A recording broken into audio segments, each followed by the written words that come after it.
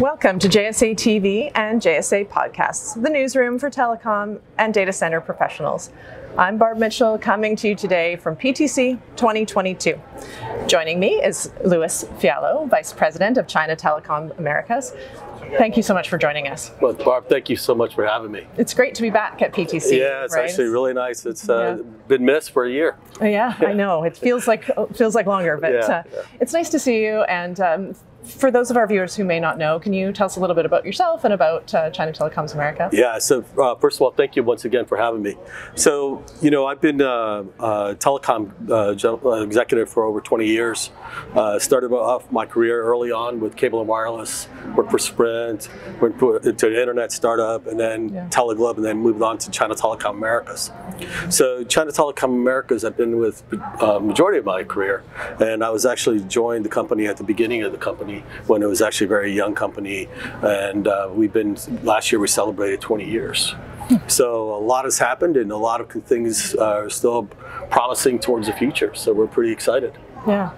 And China Telecom Americas, which we're going to call CTA, right? Okay. Just to, We can call it less, CTA, no less of a, a mouthful, but um, so CTA is a leader in global communications. Um, tell us a little bit about your services and, and what you offer. Yeah, yeah. So um, obviously, uh, China Telecom America (CTA). Um, uh, when we first started, we were focused on helping American companies go to China, right, and take advantage of all the resources and all the capabilities our parent companies had. And then over time, we started helping Chinese companies come into the U.S. Okay, and we uh, it continued to evolve our business. We, now we have operations. We have almost uh, 300 employees. We have uh, op- uh, uh, subsidiaries in Canada, Brazil, and Panama. Uh, we are uh, provide uh, essentially communication services primarily focused on the Asia community.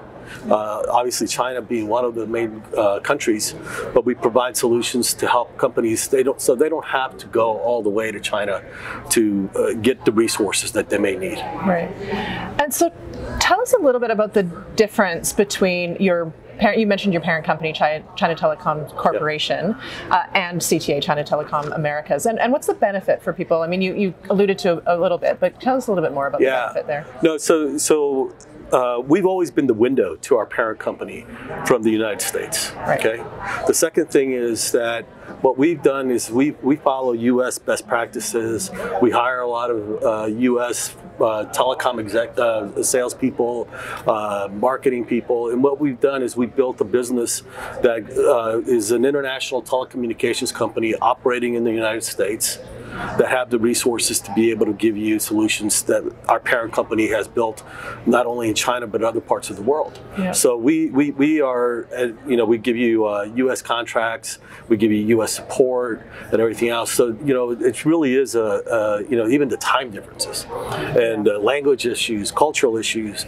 We we solve a lot of those uh, things that may hinder your ability to do business. Uh, in China, so we, we solve those problems. Yeah. That's great, and and I, I know that there's been a lot happening over the last couple of years. Tell us about, you know, some of the the things that you've accomplished over the last. Yeah, no. So there's there, there's really a couple things that have happened.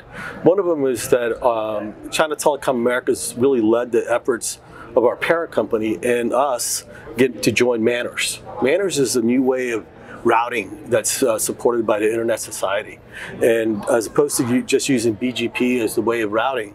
And I'm not going to get too technical on this stuff, but it's just a it's just a more uh, advanced way of routing. We were the first tier one operator to do so. It eliminates a lot of the uh, natural things that may happen wrong when you're routing uh, internet traffic.